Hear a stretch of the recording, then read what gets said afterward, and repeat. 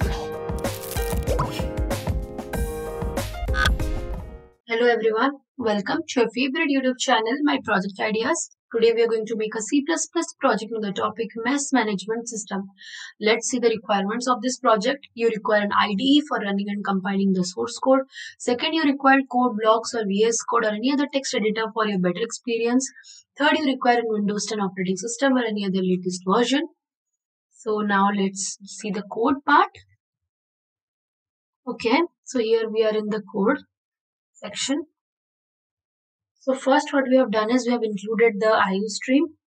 So the IO stream has been included as you can see. Then we have the uh, namespace std.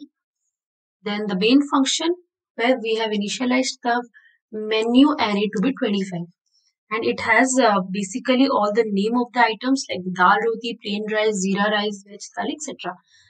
Then here we have sorted the prices of foods in the integer type array which is named as price. Cool.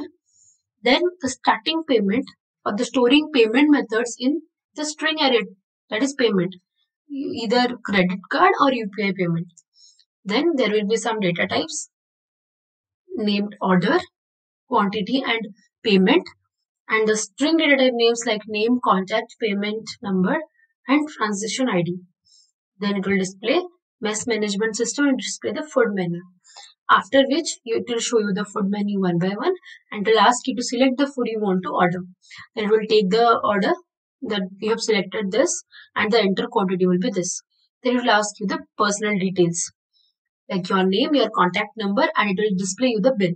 Then the total amount in the integer type variable total will be stored. Then finally the total receipt or the total bill that you need to pay will be displayed on your screen. Then the payment information, it will ask you to select the desired payment method and it will ask you to enter the payment UPI uh, number or your transaction ID. Finally, it will say you enjoy your meal. So I hope you understood the working of this code. Now I'll run the code and I'll show you how does this code really works. See, this is the food menu. I need a non-veg thal. I need a non-veg thal and that will be one. My name will be Simran. My contact number this. So basically this is my bill. So what I'll be doing a credit card payment. My credit card number will be this and transaction ID will be this. So it says enjoy my your meal. So simple, right? So I hope this code was fun. For more interesting project ideas, stay tuned to our channel. Thank you and have a great day.